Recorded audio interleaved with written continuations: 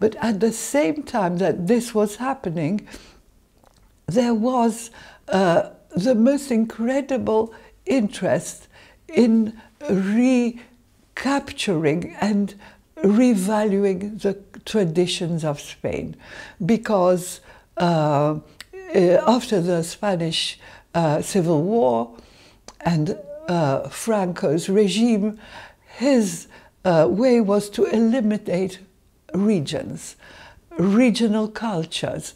They had different languages. There was so much diversity uh, and different cultures.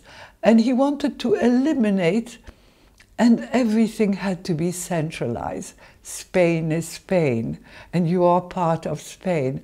And eliminating also the uh, uh, uh, economically, he had got the supermarkets and uh, industry to make only um, one type of Spanish cheese to sell.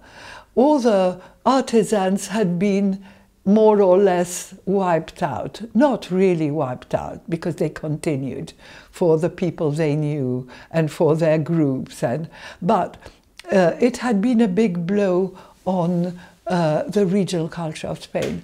And so uh, the same time as Catalans wanted to regain their language and start teaching Catalan at school and speaking Catalan, at the same time they started wanting to gather their dishes. And uh, uh, they said, why just our language? Our dishes are who we are. And they did start going to, um, to villagers, to, to uh, uh, fishermen, and to collect their cuisine. And uh, there was an institute of um, uh, it was the Institut Català de la Cuina. I don't know how to pronounce it, but the Institute of Catalan Cuisine. And they found, I think, 400 recipes that were Catalan.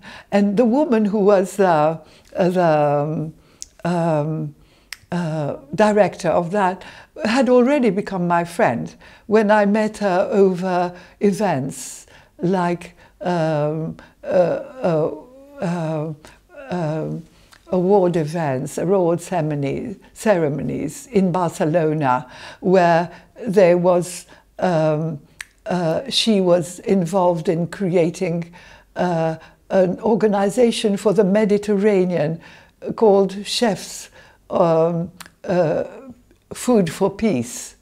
And she, she had invited chefs from all over the Mediterranean uh, who were warring countries and they were all cooking and that was some years before but by the time I was researching Spain uh, she was already a friend and I could st I stayed with her um, in Barcelona. And she actually came to stay with me in London and and uh, but every region had the same wish was to uh, to recognize their, uh, their actual local dishes, uh, but also their local produce especially. And they all were rushing to find a denomination of origin for their, um, their um, uh, even their lentils or their chickpeas or their beans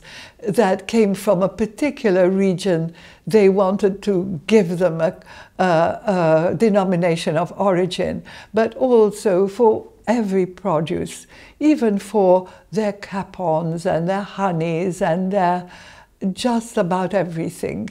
And so at the same time, chefs, uh, many chefs uh, that I went to were saying they were inspired by their regions, by their history, by their parents, by, their, uh, by who they were. Uh, but they might do modern food, but it was inspired by their traditions. And that was uh, very, very uh, exciting.